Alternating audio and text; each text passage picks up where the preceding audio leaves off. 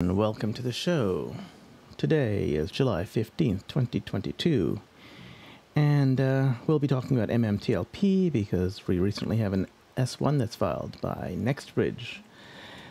Let me start by saying that I am not a financial advisor. This is not financial advice. This information is intended for entertainment and educational purposes only. Today is July 15th, 2022, and let's get started. Let's move to the Twitterverse. We see John Brda making a reply tweet. He says, Don't mean to be crass, but if you really think the spinout is going to be worth 50 cents, you should be selling your MMTLP in your account and getting a buck 90 for it now. Why wait? Am I missing something? Um, yeah, because there's been a lot of FUD going around about the dividend being worth only 50 cents or whatever. Um, and this is how I woke up this morning. I, I saw this tweet by John Brda. It said, Good morning and happy reading. It's got a link to the sec.gov CGI browse. When you click the link, you get to here. And you see NextBridge Hydrocarbons. Click the document link. That takes you to over here. Uh, you see some a whole bunch of documents. And you see one called S1. You click on that, and you get to here. This is in NextBridge Hydrocarbons S1 registration statement, and this is what we've been waiting for. Metamaterials also made a press release this morning about NextBridge Hydrocarbons files registration statement for registration of its common stock. So that's also available from the Metamaterials uh, website. So let's have a look at this. Uh, let's have a look at this S1. Right. Let's see what it's about. So we start by seeing that it's uh, it's about common stock for NextBridge Hydrocarbons. It's a prospectus, and uh, and it's for the Series A preferred shareholders. Okay. The first thing I noticed right off the bat is that there's no dates, um, and you see a bunch of empty spaces for dates. So this is not necessarily a template. This is what has been submitted to the SEC. The SEC will be providing um, uh, comments, and once all the comments are resolved, then it will be filed right? So it, it, will, it will be approved. So it has already been filed, and and we're awaiting comments, and it will be it will be approved. But right now there are no dates because we don't know when when it will be approved. Typically these things take about 25 days. Okay, so there are no dates right now. Okay. Second thing we note is that they talk about uh, 165 1,523, 363 shares of common stock, which is 100% of the outstanding shares of capital stock of the company. So there's 165 million shares of metamaterials. Uh, I'm sorry, there's 165 shares, 165 million shares of metamaterials uh, Series A preferred uh, preferred shares, and that's where this is coming from. Okay. And uh, one of the biggest questions people have is how many shares you know, what's the how many shares of this next bridge will you get? Turns out you'll be getting one share of Meta's non. So it turns out that you'll if you have one share of the Series A non-voting preferred stock or MMTLP, this will entitle the holder thereof to receive one share of common stock. So you will be getting one share of MMTLP will equal one share of NextBridge hydrocarbons. Okay, so that's what the conversion ratio will be. Okay. The other thing to note is Meta currently owns all the outstanding shares of common stock of the company, and we have not sought to have this, the shares of common stock traded on any exchange. Accordingly, there is no there is currently no public market for the common stock, and there is no current expectation for a public market to develop for the common stock. In other words, don't expect NextBridge shares to be tradable.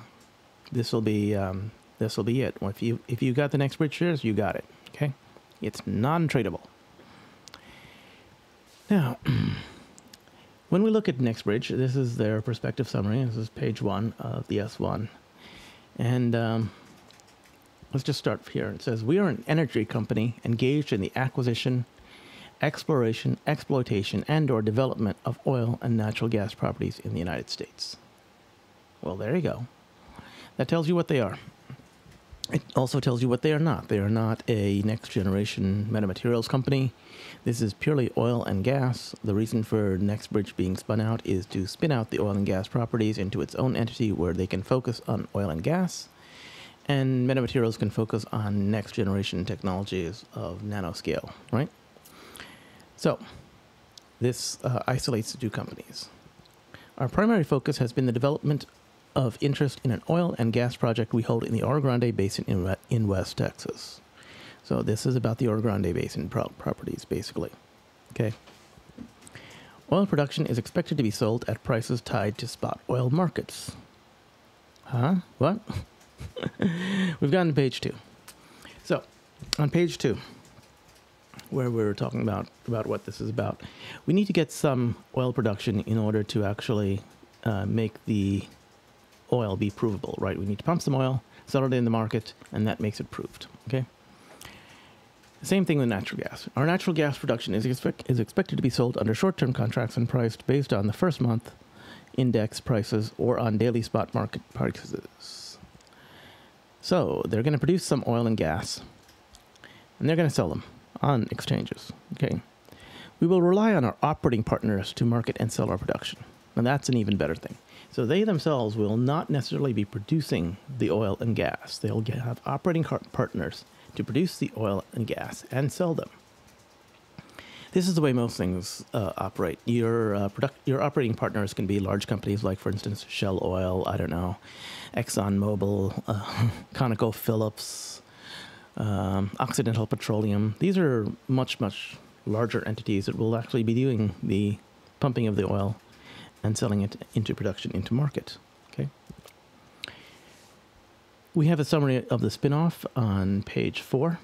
Uh, it gives all the relevant information, and in fact, it goes on for two more pages. Page four, five, and six. We have a summary of the spin-off actually, and um, I recommend you read the.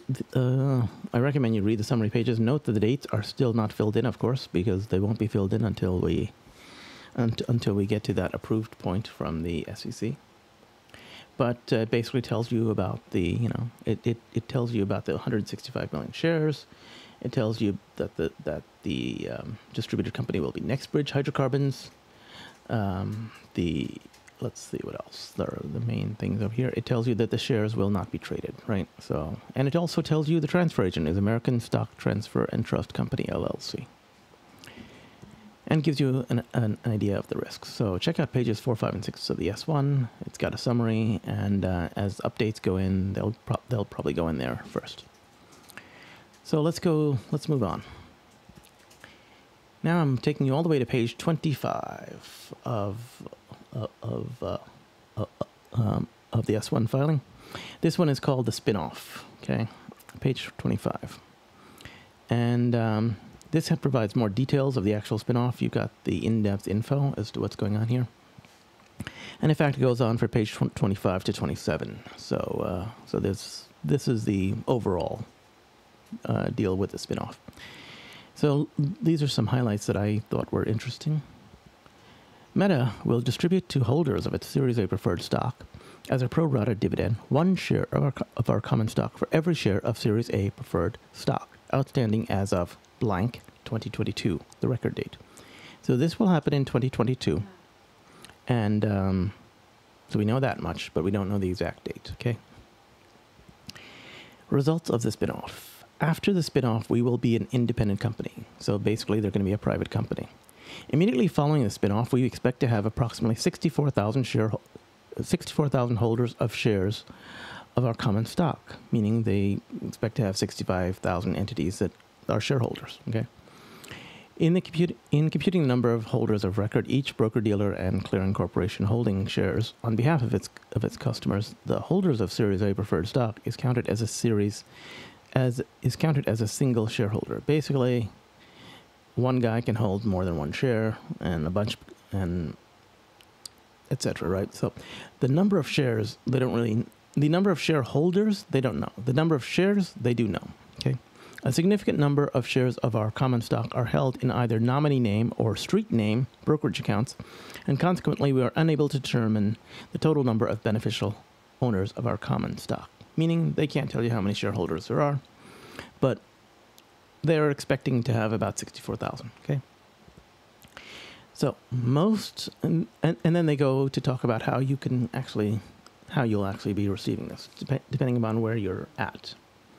Again, page 25. Uh, this is 25 going on 26. Most Meta stockholders own their shares of Series A preferred stock beneficially through a bank, broker, or other nominee. That's the case for most people. Okay. The only case in which you don't is if you were a um, uh, what is it? If you were an employee of the firm and you received the shares through a distribution, right? But in general, most stockholders uh, they have the share um, through a beneficiary of a bank, broker, or other nominee, right? Um, and the Series A preferred stock is the MMTLP, right? The intention is they will credit your account with the, with the whole shares of our common stock that you receive in the distribution on or shortly after the distribution date. We don't know what the distribution date is, but that your account will be credited. Okay? That's the way that works. These shares will not be eligible for electronic trading. They won't. There you go. If you sell any of your Series A preferred stock on or before the distribution date, you will not receive any shares of common stock. Basically, if you had the Series A preferred shares and you sold them, you won't be getting it. So, if you want, uh, if you want to receive the next bridge shares, don't sell your Series A preferred stock. Okay. You will receive one share of our common stock for every share of Series A preferred stock you hold on the record date. We don't know what the record date is, but that's the record date. No fractional shares of common stock will be issued. Okay, there you go. If you got a share of uh, MMTLP, you'll get a share of the next bridge hydrocarbon stock. Okay, one for one. That's how that works. Next, we're going to go skip ahead all the way over to page 37 uh, management discussion and analysis. This is man- you know this is what management wants to highlight. One of the things is we are sat- we satisfied the 2021 drilling obligations in the Oro-Grande play, and in satisfying our 21, 2021 op- drilling obligations, we identified new potential pay zones not yet discovered in the Oro-Grande play. Development of the play began during the 2022 fiscal year. Basically, uh, they may have found some more oil and gas. Basically, they found a, you know, they were drilling and then they found a region that has some more oil and gas. Where that is, we don't know. But we do know they found some more. So chances are that number might, you know, that number from 3.2 billion dollars. I mean, I'm sorry, 3.2 billion barrels might go up. and it's, uh, and I believe it was about 3.7 billion barrels of oil equivalent, meaning, you know, if you take the nat, nat gas into account.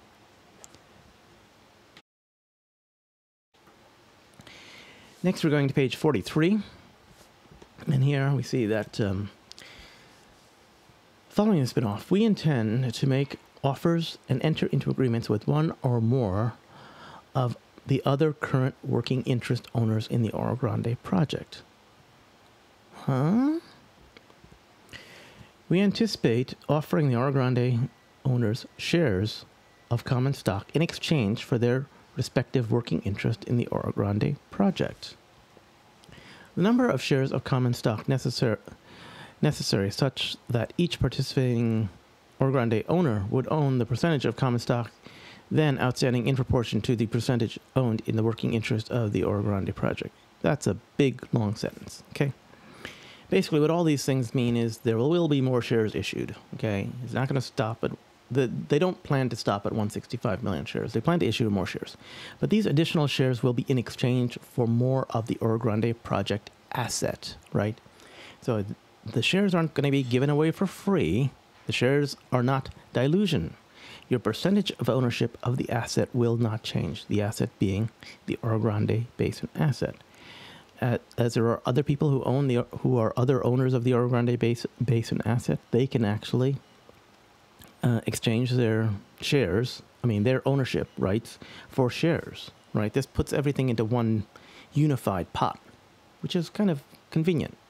It's nice. So more shares does not necessarily equal more does not equal dilution in this case. So it's actually it's actually a good thing, right?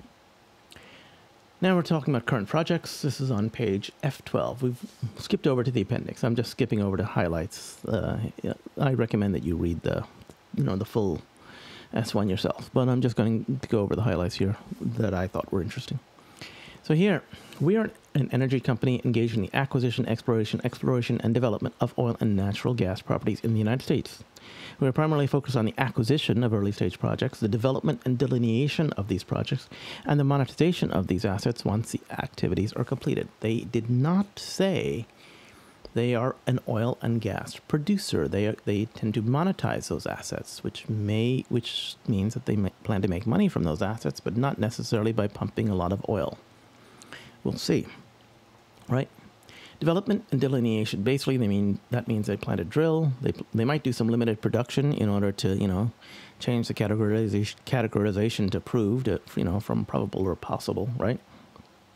And they and they want to demonstrate the the production potential, right? And that might require doing some limited production, right? So there you go. The other thing is that uh, they plan to monetize those assets. And that basically means that basically means they plan to make money from them, and that is going to be either um, a they're going to do either either do some production, limited or standard production, let's just say, and they're and they're going to try to sell the asset, right? And um, that means you get to you know eh, the the uh, the sale gets you to the proved category. I mean, I'm sorry, the sale of oil and gas gets you to proved oil and gas, right? And at that point, you're selling the asset, and then you can say, look, we have proved oil and gas here, which increases the value of that oil and gas. Uh, now we're skipping ahead uh, to page F12. Uh, uh, to the bottom of, the, of F12, we note that they say the company has drilled 14 test wells in the Oro Grande properties in order to stay in compliance with the university lands um, uh, uh, continuous drilling clause, I believe, D&D unit agreement, as well as to test for potential shallow pay zones and deeper pay zones that may be present on structural pays, right? So there may be areas that are shallow in there that have a bunch of oil and that gas that they may want to get a hold of. There may be areas that are deeper. They want to know how much oil and gas is there, right? Development of the wells continued through the year ended December 31st, 2021, to further capture and document the scientific base in support of demonstrating the production potential of the property. They need to demonstrate the production potential of the property. And they drilled these 14 test wells. A bunch of wells were drilled. And that gets me to finance, the finance section of this uh, of this project, right? So next bridge, we could see that these are the assets. This is on page F43. And if we look, they have a bunch of cash, about $5 million. Okay. And the text associated with that cash says this represents a loan agreement that is anticipated to be entered into with Meta, including interest expense, right? On June 28th, 2022, the company borrowed $2.34 million in unsecured term loan, to the proceeds of which are available for our working capital and general corporate purposes, which is expected to be subject to the loan agreement. We expect that we will have the ability to elect to borrow additional term loans in an aggregated principal amount up to but not exceeding $5 million. The term loan will bear interest at a per annum rate of equal to 8%. So basically, Meta's getting 8% for some loans, which is a lot better than what they can get in the bank. And um, Metamaterials is getting some cash that they can use to basically fund next NextBridge hydrocarbons, right? Um, it's not enough to drill a bunch of wells, but it is enough to get you know to, to do what needs to be done in terms of running a company. So that's that's what's going to be done with the money. We have an idea now. If we move on to, uh, if we also look at page nine, uh, again, of the, uh, which includes risk factors in the S1, we see that it says our leases on oil and natural gas properties typically have a primary term of four to five years, after which they expire unless prior to expiration, drilling obligations are fulfilled or production is established within the, the spacing units covering the undeveloped acres.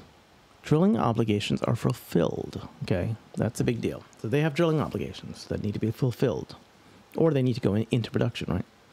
As of March 31, 2022, we had leases representing approximately 134,066 net acres in the Oro Grande Basin in West Texas, expiring in 2022 if we failed to drill five wells as obligated. Okay, so, so they need to drill five wells. The leases in the Oro Grande Basin are also subject to expiration in 2023 in the event we fail to drill an additional five wells. So they need to drill five more wells. We will require additional capital to drill these wells meaning that they don't have enough money to, to drill the wells right now. And we may not be able to obtain additional capital when required in order to, to drill these wells or on favorable terms. Uh, the, that last part is because it's in the risk section, right? It's in the risk factor section. So basically, they they still need to drill five wells in 2022 and drill five wells in 2023, and they will need financing to do this. And judging by the amount of oil that's there, they're likely to get the financing. Okay. And I was going to say one last thing. I happen to note they say in their document, we do not expect to pay cash dividends on our common stock in the foreseeable future. This is on page 51 under liquidity and capital resources of the S1, of the S1 um, NextBridge Hydrocarbons uh, uh, registration document. Okay. We do not expect to pay cash dividends on our common stock in the foreseeable future. Does that mean we're not going to get paid? What's what's the deal here? No. They don't expect to pay cash dividends. Okay, cash. you won't be getting cash for this. The payout, I think, will be likely to be in the form of a stock swap with whatever company wants to buy the assets, right? So let's say it's, uh, I don't know, Occidental Petroleum or ConocoPhillips. You might wind up with Occidental Petroleum shares. You might wind up with ConocoPhillips shares. But they'll be equal to the cash value that, that it represents, right? That, that's basically it. Um, so what are people saying about the S1 now at this point? Well, let's look at some tweets and see some reactions in the Twitterverse. Let's look at John Brda. This is his high points. He says, Here are the high points in my opinion. Next bridge will be private, no ticker, no DTC eligibility, but public filings due to a number of holders. Okay. New management team is super strong and will be developing the field in the near term. Nice. High points continued. Once the SEC approves, the spinout will occur and preferred shares will be canceled, likely 15 days after NextBridge gets approval. They don't have approval yet. After they approve, then there'll be a countdown. Okay. If you own the preferred shares, make sure your brokerage sends your sends your now private shares back to AST for two reasons. Okay, and the reasons are to keep your new shares at AST and not at your broker or proper credit for your shares. Since, since there will be no ticker, NextBridge needs a way to communicate effectively with its shareholders. So, what's AST? what are you talking about, AST? Who are they? What, what's the deal? Um, I didn't mention much about AST before because if you look in the if you look in the in the summary of the, of the spinoff, page four, five, and six, you'll see that AST is the is a transfer agent. Okay, they're the American Stock Transfer and Trust Company LLC. They're they're the guys who you know who get the shares of the stock, and um, you can hold it with them. And what does it mean if you hold it with them? It means that they'll basically just hold the stock for you. If you want to sell your shares, there's no market that you can sell to with a bid ask spread and all that. But if you know someone who wants to buy it, that doesn't mean that you can't make a deal with whoever wants to buy your shares. Okay? But it'll be a private deal. It won't be going through a public market. That's the main thing, right? There's no way to stop anyone from selling anything, right? If you own a car, you should be able to sell, your car, right? That, it's that kind of thing. So, um, so the, these are the um, uh, the main tweets from John Brda. Uh, the S1 has been filed with the SEC as of as of July 15th. And the next steps, I believe, are that the SEC needs to approve the S1, which can take about 25 days or so after the S1 has been filed. And then NextBridge needs to spin out, which might take another 15 days after the approval. So we're talking about 20, 25 plus 15, 30, 40, about 40 days or so. You know, you know, who knows? Around there. Keep this in mind. It's not instantly. Now, John Brda, he's also got some additional opinions. Continued. He says, NextBridge new management team will be 100% in charge of the company. This means it can stay private, go public, uh, go public down the road, um, sell out completely, pay dividends as production allows, do whatever, right? All the options are on the table for the new management. So there you go. The new management can do whatever it wants. All options are on the table. We see uh, CPLANT reply to uh, John Brda. C Plant's pretty good. The trend is your friend. It basically says, FYI, everyone, this is the beginning, not the end. Hold tight and read everything three times. And um, he's got a link to the uh, to the documents. And he also says, stay calm, adhere to the timeline, and everything should run as smoothly as possible. Also, keep in mind it typically takes the SEC approximately 25 days to provide initial comments on your Form S1 filing, not including any additional S1As amended that will be required. This is the longest of the pre-IPO stages, so give yourself 10 to 14 weeks to complete it. So it could take a while for them to actually get through the whole S1 process, right? And the other important thing is, I would also suspect that market makers and short hedge funds are going to hit MMAT as hard as possible to shake you out. Don't fall for it. Just buy it or hold. They are burnt toast now. Sure, sorry, mofos. um, yeah, there you go. Um, you're going to be hit hard. Um, they're going to go after MMTLP um, as hard as they can, and they're going to go after MMAT because they're going to figure that you know if MMAT drops in price a lot, you might lose um, you might lose sympathy and hope in MMTLP. But the two are different. The two are different. Finally, he says, read the fine print. If you take away nothing else from the S1, take this information. Last paragraph below. We identified new pay zones not yet discovered in the Oro Grande play, right? He says, we satisfied the 2021 drilling obligations in the Oro play, and in satisfying our 2021 drill obligations, we identified new potential pay zones not yet discovered in the Oro play. Development of the play began in the, during the 2022 fiscal year. There you go. Okay. New pay zones not yet discovered. So there's uh, there's probably more oil and gas there than we originally thought. More oil and gas than we originally thought. How much we don't know yet. But we do know what happened to MMTLP stock today. This, this information was released pre-market trading in the early morning, and um, MMTLP was hit as hard as it could be by the short hedge funds who are desperate to, to try to get the MMTLP shares, and they pushed the price down a whopping five cents to a buck eighty-six. It's down two and point six two percent. They want your shares basically because they know that the payout could be very damaging to them. I think. What does that say to? What does all this information say to me about the valuation of the M- MMTLP shares? If you may recall, I made this chart a while back. Um, it looks at the price of oil and compares that to uh, a dividend estimate, right, based upon the COGS cost of oil. I know how much it costs to pump oil out of the ground, right? What the estimated reserves are. This is based on 3.2 billion barrels of oil, not 3.7, not th- not any additional that we found right now, right? And uh, the discount for the value of oil on the ground is 12%. It takes into account the revenue interest, which is 49%. It does not take into account any corporate tax rate because, uh, you know, we're thinking that, it, that, that this could happen in a non-taxable manner, right? It's going to be a stock, stock swap of some type, so it's not going to be uh, easily taxed, we think. And uh, th- at the time, the number of shares here I used was 164,923,363. That is a slightly smaller number than the 165 million shares that was in the S1. So the these numbers are slightly off, but not by much. They're off by less than 1%. I think. Okay. And the natural gas value for this is, of course, zero dollars. So the nat gas is a bonus. So I'm saying, you know, what that basically means is don't expect cash dividends for, for common stock. We know that it's not going to be in the form of cash dividends, but the payout could be in the form of stock swap with whichever company buys the assets. I said that earlier, right? So that means they should be able to either keep or sell the stock of whatever stock we get and the value of that stock will be equal to the cash value that we see here. So you won't be getting cash, but you'll be getting stock that's equal in value but from whatever oil company is buying this stock. And you can choose to either keep or sell the stock, right? Based upon, you know, how you want to take your dividend in terms of taxable or non-taxable events. Okay.